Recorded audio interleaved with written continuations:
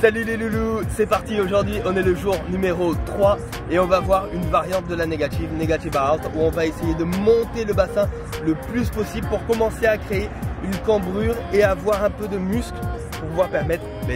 solliciter, solliciter le pont.